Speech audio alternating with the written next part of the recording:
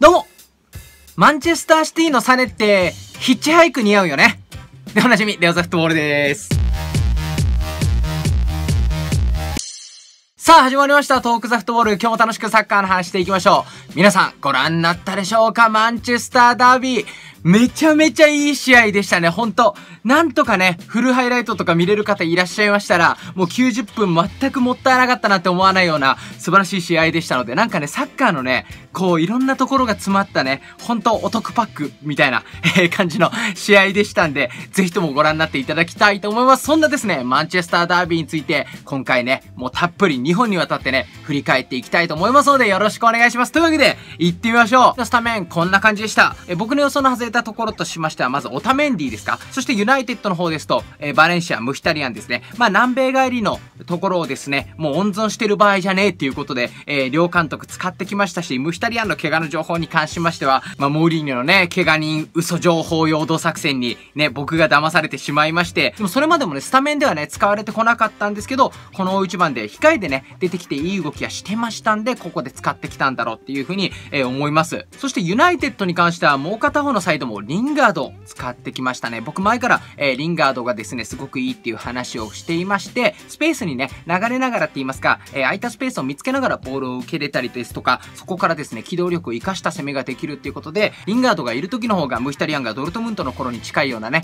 機動力と技術を活かしたサッカーできるなんて話をしていたんですけれども、その希望通りと言いますか、リンガードが使われまして、こういうスタメンになりました。ここでですね、えー、質問を紹介させていただきましょう。ゆうべビダルさん。なんでモーリーニョ今まで使ってきたマタを外したんでしょうかということで、えー、またですね、毎回、えー、右サイドだったりですとか、スタメンで使われてましたね、基本的に。僕はですね、一つはやっぱりカウンター気味の攻め方になるっていうのが大きいいと思います。え、シティ相手ですと、ボールを保持する時間が短くなりますので、奪った後の速い攻め、特にですね、縦に急ぐ攻めの時に、えー、マタよりも、え、リンガードだったりとか、ムヒタリアンの方がいいと、モーリーニョが判断したっていうのが一つと、だったらルーニーのところっていう話なんですけど、ルーニーの場合、チームの象徴的な選手でして、で、守備の時もですね、すごい頑張ってくれますし、攻撃の時のポジショニングなんかもね、えー、マタより良かったりします。ただ、マタの方が今コンディション的に整ってるのと、キックの精度とかは高いんで、僕もまた使ってほしいなとか思いつつ、まあ、試合展開上どんどん出せなくなってったっていうのが今回の印象です。なんでそこも含めてね、試合振り返って説明させていただきたいと思います。まず試合自体はですね、シティのペースで進みます。シティの選手がですね、えユナイテッドにボールの取りどころを定めさせないでですね、えー、ゲームメイクをしていって、中でボールを支配して、両サイドバックの、えー、スペースに対してボールを送り込んでそこからチャンスを作るっていう形になってました。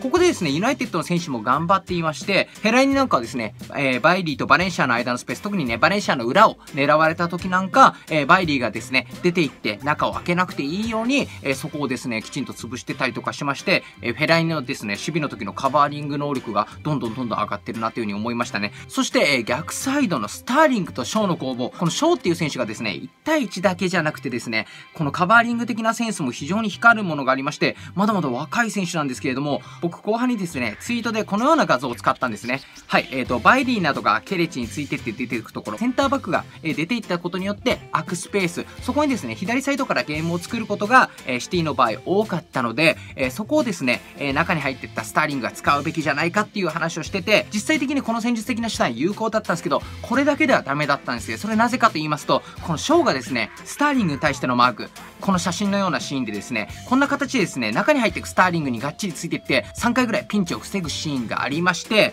スターリングはですね、中に入っていく攻撃が全然有有効にならないんですね。で、えっ、ー、と、バイリーが前に出なくていいように、極力ですね、ブリントが前に出るんですけど、まあ、そこを抑えきれたショーがすごいところなんですけど、それでもですね、シティペースで攻撃は進みまして、その理由がですね、シティの3人司令塔なんですね。その3人司令塔ってして聞くと、多分ですね、皆さん、デブライネ、シルバー、そしてフェルナンジーニョだと思うと思うんですけど、違うんですね。シティの場合は、このセンターバック2枚と、そしてフェルナンジーニョ、このストーンズ、オタメンディ、フェルナンジーニョ、この3人が司令塔の役割を果たします。この写真を見てください。これですと、えっ、ー、と、フェルナンジーニョが下がってきて、アンカーの位置には、今度上がっていったストーンズが入っています。このようにですね、この三角形の、えー、ボランチとセンターバック、アンカーとセンターバックの選手たちが、えー、それぞれですね、フリーになるように、こう、回転してね、えボールを受けれるようになってまして、ルーニーがですね、誰にマークをつけばいいかわからない状況、またムヒタリアンとかもですね、そのルーニーがですね、マークにつききれないポジションに対して、え、マークに行っても、今度後ろが連動してきてないので剥がされて、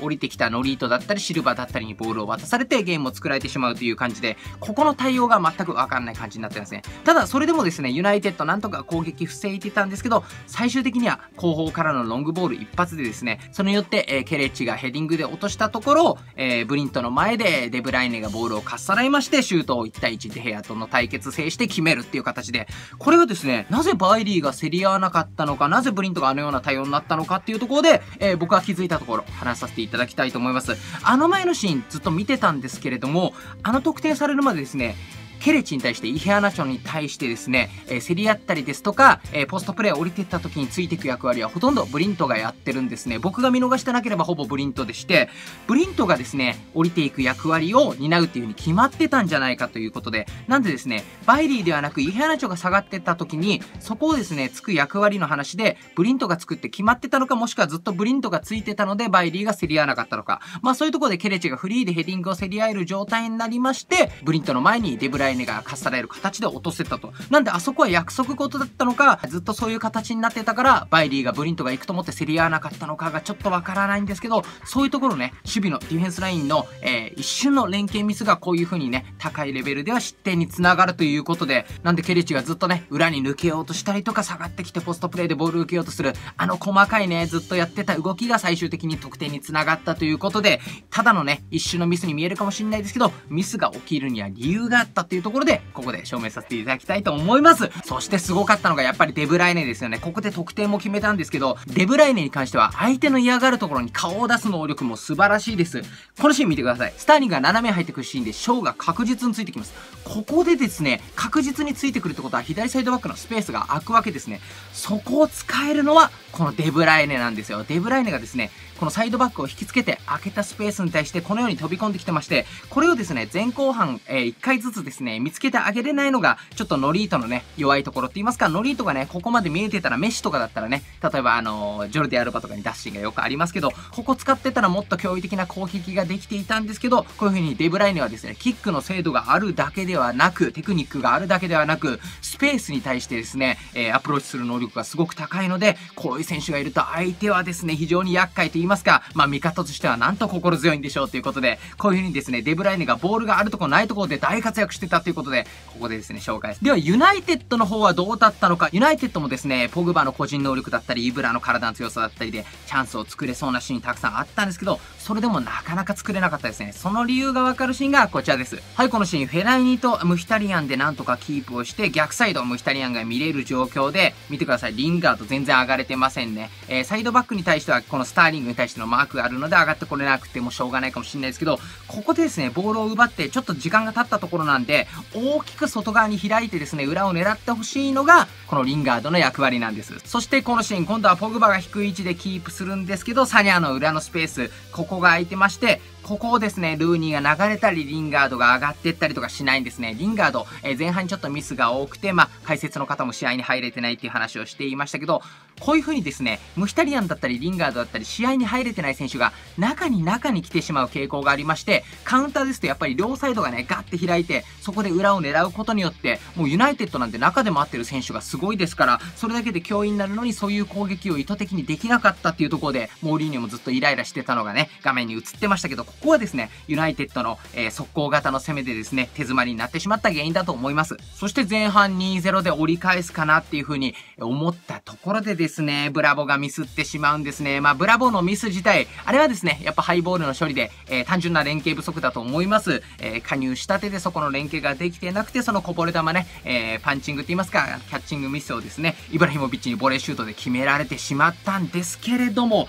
あそこの前にもですね、ブラボが何度もですね、コーチングでもっと広がれとか、センターバックのボールを受ける位置だったりとかに注文をつけてるシーンがありまして、ああいうところも実戦形式のトレーニングでですね、えディフェンスラインとのボール回しの意思の疎通できてないところとかが、え垣間見えるシーンでしたので、ブラボこれからね、どんどん良くなっていくと思いますし、このブラボーがね、悪い状態でシティが勝てたっていうことがすごく大きいいと思いますし、えユナイテッドにとってはアグエロ不在、ブラボがまだ整ってないっていう状況で、え勝てなかったの非常に痛いと思います。というわけで、前半はこんな感じでした。そして後半、後半こそめちゃくちゃ面白かったんですね。ほんと、モーリーノとペップの頭脳戦これをですね、僕が分かった限りちょっと解説させていただこうと思います。後半もお楽しみにバイバイコメント、チャンネル登録よろしくお願いします。下のもっと見るの楽曲のところからは僕のいろんな曲が聴けますんで、ぜひ